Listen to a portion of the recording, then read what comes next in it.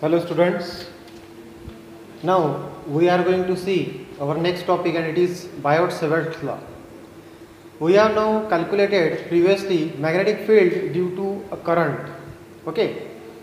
Now there is one law which gives us the relation between these uh, magnetic fields and the portion over which it is calculated. Okay. Now this magnetic field can also be calculated for any portion of uh, current carrying conductor of any shape म्हणजे समजा आता एक wire consider करायचा असा याचा वेगवेगळ्या कोणत्याही शेपचा असू शकतो तो.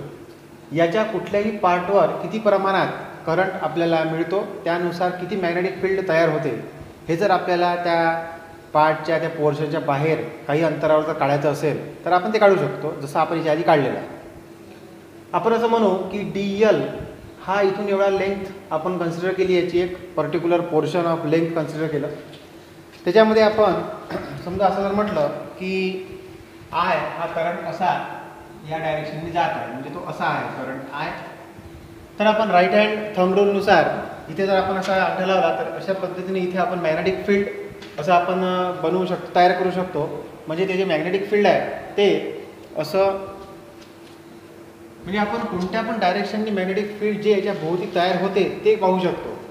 समजा आता डी बी जे आहे ते मी इथे काही सायन्स काढतो. या साईन्सचा अर्थ डी बी जे आहे ते in to the plane of the paper म्हणजे या डायरेक्शननी आहे. आणि करंट आय असं जात आहे.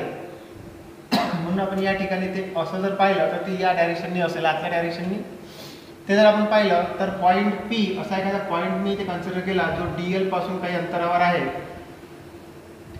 डी एल ही लेंथ आपण कन्सिडर केली एका पोर्शनची ज्याच्यापासून किती प्रमाणात आय असा प्रकारे जाईल तर तो आय इंटू डी एल एवढ्या प्रमाणात इथून एवढा पोर्शन थ्रू आय जो आहे तो समोर जात असेल. म्हणून आपल्याला डायग्राममध्ये तसं काढलेलं दिसते बरोबर आहे की आता आपण याचं जे रिलेशन आहे बायोट सेवट लॉनी सांगितल्यानुसार ते आपण काढू शकतो. एक्सपेरिमेंटली आपण जर सर्व काढण्याचा प्रयत्न केला तर ही जी लेंथ आपण डी एल कन्सिडर केली या लेंथनी डी बी या डायरेक्शननी पी पॉईंट जिथे आहे त्या ठिकाणी. लक्षात आलं की नाही? आपल्याला काय काढायचं आहे? पी पॉईंटवर डी एल एवढ्या लेंथनी ज्याच्यातून करंट आय पास होत आहे त्यांनी किती प्रमाणात मॅग्नेटिक फील्ड अप्लाय केलं ते आपल्याला काढायचं ते आपण याच्या आधीच्या रूनुसार सुद्धा आपण काढू शकतो. डी बी जे आहे त्याला म्हणायचं आपण magnetic field at point P त्यानंतर डी एल ही लेंथ एलिमेंट आहे त्याच्या थ्रू मॅग्नेटिक फील्ड किती अप्लाय होतं ते आपण काढत आहोत. जसं आपण राईट हँड रूलनुसार पाहिलं आहे तसं. आय हा याच्यातून पास होणारा जर करंट असेल तर experimentally it is found that if आणखी एक गोष्ट सांगायची राहिली ती म्हणजे डी एल सोबत केलेला जो काही अँगल आहे डी बीनी तो समजा थिटा असेल तो थिटा किती असू शकतो? आपण कोणत्याही अँगलनी किती प्रमाणात मॅग्नेटिक फील्ड तयार झालेलं आहे ते आपण काढू शकतो. तो जर समजा किती आहे? थिटा असेल.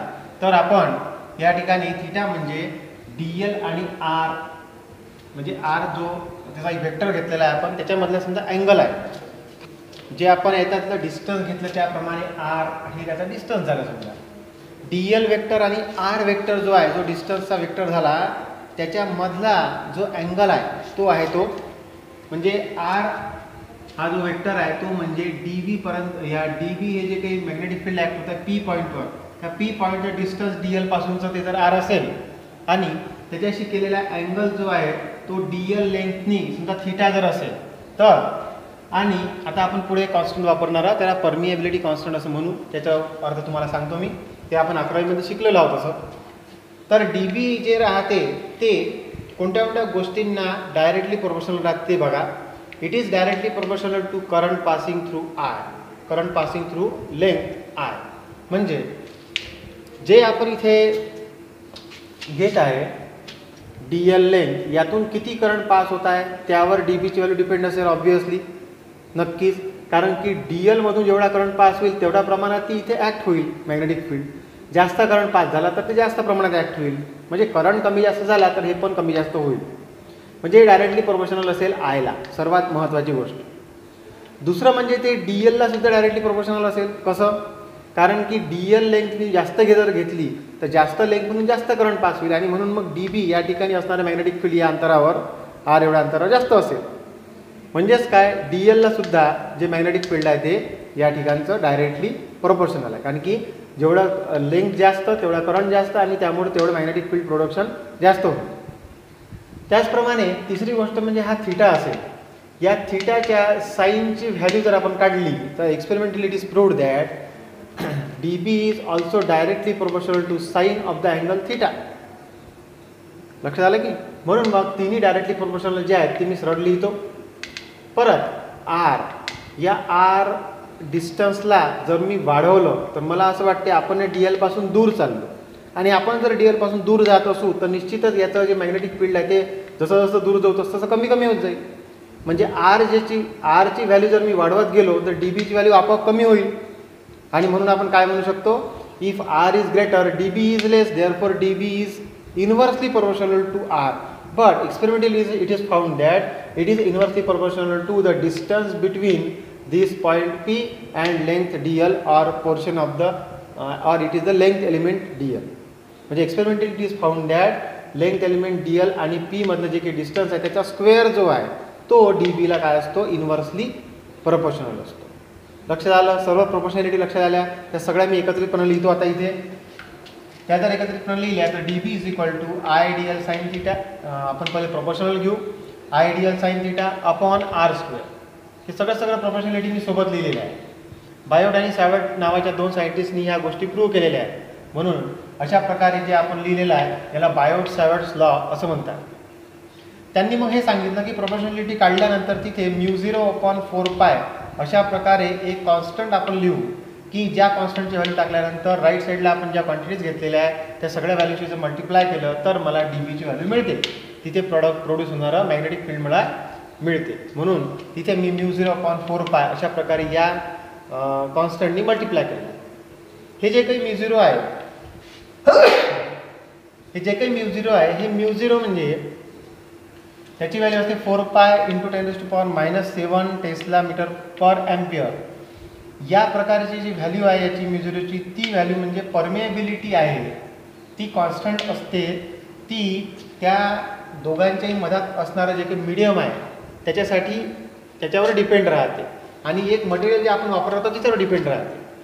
लक्षात आलं की नाही? म्हणून मग त्याची व्हॅल्यू या प्रकारच्या मटेरियलसाठी आणि बाहेरच्या या प्रकारच्या मिडियमसाठी सारखी असेल.